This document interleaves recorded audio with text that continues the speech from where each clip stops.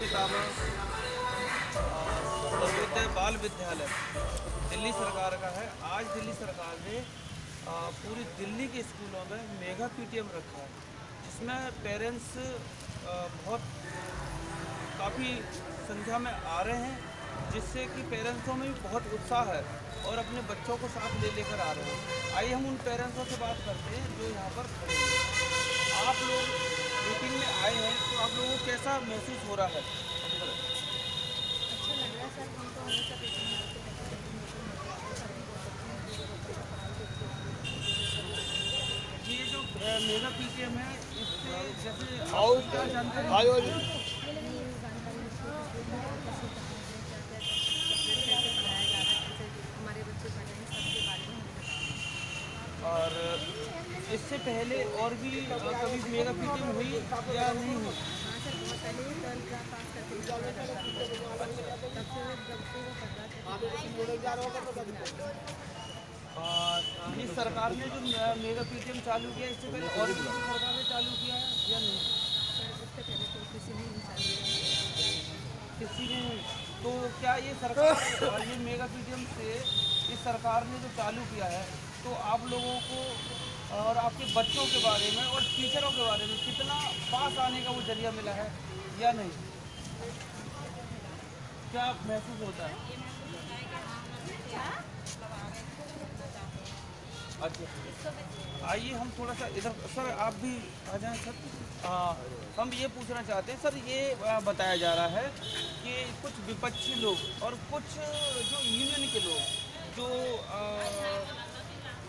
LG या अन्य किसी दूसरी पार्टियों के पास गया तो वो कह रहे हैं कि मेगा पीटीएम नहीं होनी चाहिए। इससे ना नुकसान होता है आ, क्या नाम है टीचरों का और जो है ना क्या नाम है पेरेंट्स का। ऐसा कुछ लगता है कि नुकसान होता है?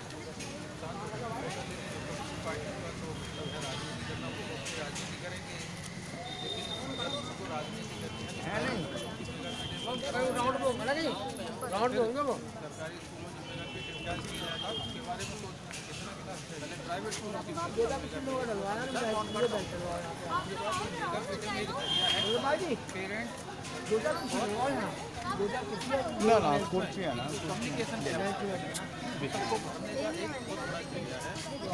पेरेंट्स को मालूम चल जाता है हाँ, बिस्कुट वगैरह हमारे बच्चों में कहाँ गलती है कहाँ पेरेंट्स की कहाँ टीचरों में गलतियाँ हैं कहाँ हमारे बच्चे आ रहे हैं, स्कूल में नहीं आ रहे, कितना टीचर पढ़ा रहा है कितना सिलेबस हो चुका है, कितना सिलेबस और होना बाकी रह गया है। हमारा बच्चा किस सब्जेक्ट में कितना कमज़ोर है, ये सारी जानकारी अध्यापकों द्वारा पेरेंट्स को मिल जाती है।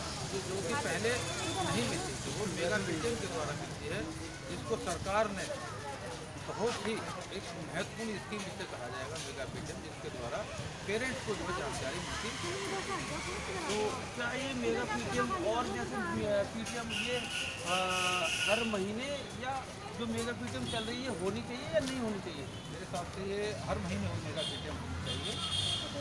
बच्चों को महीने की रिपोर्ट कार्ड बच्चों की महीने की रिपोर्ट कार्ड पेरेंट्स को मिलती है। अच्छा अब हम ये कुछ पेरेंट्स इधर को आ जाएँगे थोड़ा आप इधर को आ जाओ सभी लोग हम ये पूछना चाह रहे हैं आ जाओ। सामने कि ये सरकार ने जैसे बिल्डिंग भी अच्छी बनाई है। आप इससे पहले हो सकता है सर ऐसी बिल्डिंग नहीं थी और लाइट पंखे भी नहीं थे बहुत सारी परेशानी होता थी तो देखते थे। तो क्या ऐसा महसूस होता है कि अभी फ़ायदा हुआ है या नहीं हुआ है बच्चों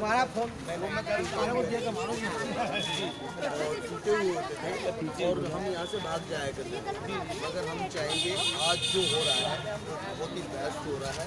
और इसको मैं चाहूँगा कि और भी बहुत अच्छा हो क्योंकि सारी दीवारें बेस्ट हैं और बच्चे ना बाहर जा सकते हैं। मगर इस पर और भी कड़ी सख्ताई हो तो मैं मनीष सिसोदिया को बेस्ट और लकी कहूँगा तो इस सरकार से आप कितना खुश हैं? बहुत खुश हूँ। आप लोग कितने खुश हैं? तो इस बार सरकार किसकी बननी चाहिए? आप आप और हमारी और आपके बीच में ही है। मोदी तो पता नहीं कहाँ गए। अच्छा तो हमें तो पता ही नहीं वो विदेश में रहते हैं। हम यहाँ रहते हैं। क्या पहले और भी किसी सरकारों ने इस तरीके की पढ़ाई पर ध्यान दिया? नहीं वो तो मैडम भी कह रही है नहीं नहीं तो नहीं है। नहीं है नहीं है। अब जो है ना कैसा महसूस होता है आपको? बहुत अच्छा होता है पढ़ाई भी अच्छी है भी अच्छा हो गया है। मैंने मेरा तो मानना है कि शायद हो सकता है दिल्ली में ही है और किसी प्रांत में ऐसा नहीं है कि शिक्षा पर इतना अच्छा ध्यान दिया जा रहा हो। सब जगह ही हो रहा है दिल्ली में काफ़ी हो रहा है। हाँ तो हम यहाँ से क्या मैसेज देना चाहते हैं आप लोग कि इस चैनल के माध्यम से कि भाई सरकार को और या और भी कुछ सुझाव? या इस सरकार या दोबारा केजरीवाल सरकार बननी चाहिए? अगला मुख्यमंत्री दिल्ली का कौन होना चाहिए? केजरीवाल।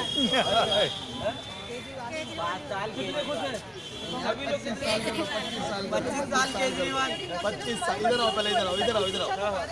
मैं कह रहा हूँ पच्चीस साल केजरीवाल और अब ना है फिर कोई बेहाल। अच्छा अच्छा। वो सब हैं बेहाल। हमारा पता है केजरीवाल सर और यहाँ आ जाओ है कि जो हो रहा है वो अच्छा हो रहा है और हम चाहेंगे और भी अच्छा हो।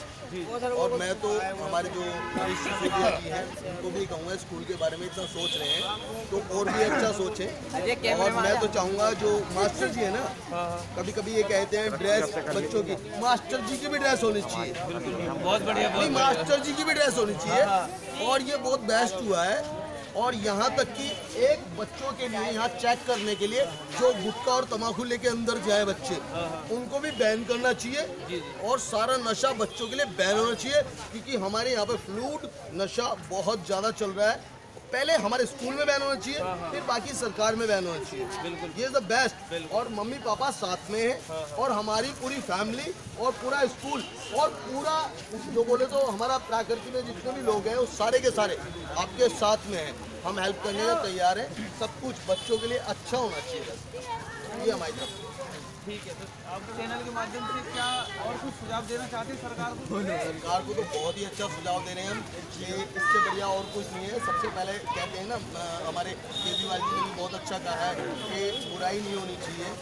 सबसे पहले अगर नशा बंद हो गया तो बुराई खत्म क्योंकि ये छोटे छोटे बच्चे हैं हमारे, और इन्हीं को बहकाया जाता है, इन्हीं को बुराई में और बुराई के अंदर डाला जाता है। मगर इनके लिए मैं भी चाहूँगा, मैं आने वाले समय में ये चाह रहा हूँ कि कुछ ऐसे संस्था या कोई भी कम्युनिटी ऐसा करे कि बच्चा अगर बाहर मिलता है तो उसे पकड़ के बैठा ले। और बैठा करके उसके मम्मी पापा बुलाए या मास्टर को बुलाए। तो आप लोग और कोई कुछ कहना चाह रहे हैं? आप लोग कैसा महसूस करते कि पहले कभी ऐसा महसूस होता था कि प्राइवेट स्कूलों में ही जाते थे लोग, है ना? क्योंकि सरकारी स्कूलों में कोई गया ही नहीं होगा। शायद हो सकता है कि आप लोग और इतना स्वागत चाय पानी बिस्किट ये सारी चीज़ें मिलती हैं। तो आप लोग क्या कहना चाहते हैं? कैसा महसूस होता है आप लोगों को? स्कूल में आने के बाद है? हीरो बने वाले बाल ये ये कलर वाले बाल भी आ।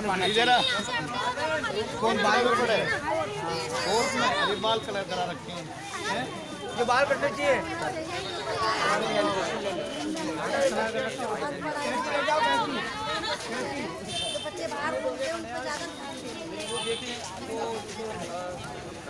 सरकार अगला मुख्यमंत्री दिल्ली का कौन होना आप बताएँ।